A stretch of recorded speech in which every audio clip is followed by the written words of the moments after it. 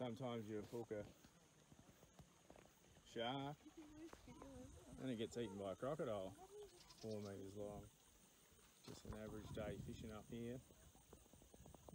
Oh,